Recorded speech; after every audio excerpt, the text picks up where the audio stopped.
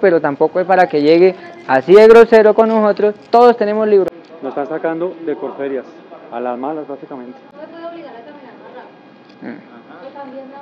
Estoy en la ciudad de Bogotá, pero estoy muy feliz, pero a la vez nervioso. Les cuento que hoy está la Feria Internacional del Libro del 17 de abril al 2 de mayo y está Luisito Comunica.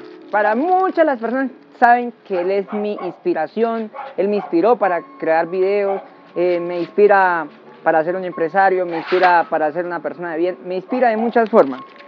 La idea cuál es? Irlo a conocer, parce. Yo siempre he dicho que para mí esto no es una meta, es un sueño. Entonces, pues le vamos a dar una camisa de la marca STM, que es la marca que me patrocina a mí, que me apoya siempre. Entonces, bueno, esta es la camiseta que le vamos a entregar. De diseño, vea. Ya vamos a ir a Corferias. La idea es saludarlo allá, conocerlo. No sé, parce, estoy súper, súper emocionado. Así que acompáñenme. Entré en la investigación y encontré el hotel donde se estaba hospedando Luisito, de hecho al lado de Corferia. Le hice una pancarta con la intención de que se tomara una foto conmigo donde decía, Luisito, te sigo desde provinciano en la ciudad, soy Daifre, inspiras a millones. Como no me dejaron ingresar al hotel por temas de seguridad, entré a la Filbo, que es la Feria Internacional del Libro en Bogotá, con las ansias de conocerlos porque se presentaría aquí a las seis y media. Cuando yo me di cuenta ya estaba Luisito dentro del establecimiento, pero estaba en un salón donde nadie podía entrar si no era con una manilla. ¿Cómo vamos? Pues bien, fíjate, muy, muy bien, muy básica, muy costosa. Si tienes un micrófono muy top, muy X, si tienes una suscripción a un sitio de música o no. Eh, últimamente que el video esté entretenido, a buen ritmo e interesante es lo que lo hace bueno.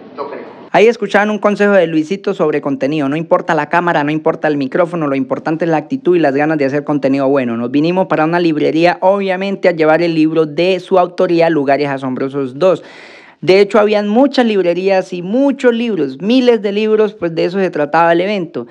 Obviamente nosotros queríamos llevar y la intención más grande era llevar Lugares Asombrosos 2, que era el nuevo libro y era por el que venía a promocionar. Teníamos Lugares Asombrosos 1, que fue el primer libro que sacó, y estoy muy feliz de obtenerlo. La verdad quedaban pocas unidades. Cuando terminó la entrevista me vine por la puerta trasera del salón porque seguramente saldría por aquí, donde habían miles de personas esperando que él saliera y yo con mi letrero sin perder la fe y con mi libro con ganas de que me lo firmara. Estaba muy feliz y nervioso de conocer el gran hombre que me inspira. Como hora y media después salieron personas de seguridad, gente armada, bueno, como 10 personas a decirnos que saliéramos del lugar, no muy respetuosamente, que de hecho quedó filmado y muchas de las personas que estábamos ahí les disgustó de la manera en que nos dijeron. Sí, yo sé que ya cerró, entendimos que ya cerró, pero tampoco es para que llegue así de grosero con nosotros. Todos tenemos libros, aquí compramos todo.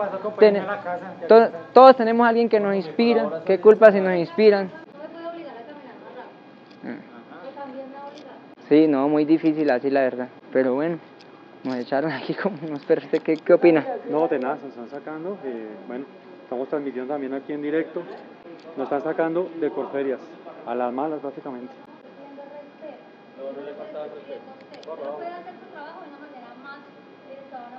No, ¿y qué fue? Sí, ya vamos con calma. Empatía, empatía, empatía. ¿También al discapacitado? Sí, está, obvio, sí. Sí, pero de barrido. Sí, un poco mal, ¿sí me entiende? Como que no fue como que, por favor, no, sino que de una manera muy grosera, entonces como que no, yo los entiendo porque de pronto están cansados, están estresados, qué sé yo, ¿no? Pero pues igual no era la manera. Y no poder verlo a él también es, es algo que lo pone a uno...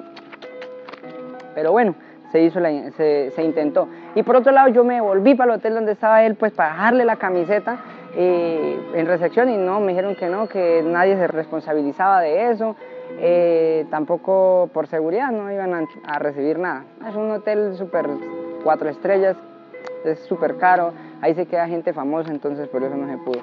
Pero bueno, pudimos eh, obtener el libro. Eh, por otro lado, pues la camiseta se la voy a dar a alguien por ahí en la calle, alguien que trabaje, por ser el Día del Trabajador. Acabo de ver un reciclador allí, vamos a, ver, a darle las felicitaciones por el Día del Trabajo. ¿Ya le dijeron feliz Día del Trabajador? No, eso no, nadie pues se ofreció nada ni, ni siquiera puntito. Bueno, entonces feliz Día del Trabajador y esa camisa es para usted. Bueno, muchas gracias. Sáquela si quiere. A ver cómo le queda.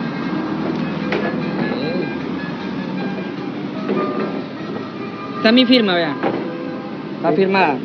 Ah, bueno. Y volteala. ¿Qué tal? Esta muñeca, uh, ¿Está bonita? ¿Le gustó? está bien bonita, claro, hermano. ¿Cómo no Ah, nuevecita. Dios me lo bendiga. Feliz Bueno, día del bueno, trabajador. muchas gracias. Entonces, pues nada. Dios me los bendiga. Nos vemos en una próxima oportunidad. Chao. Los quiero.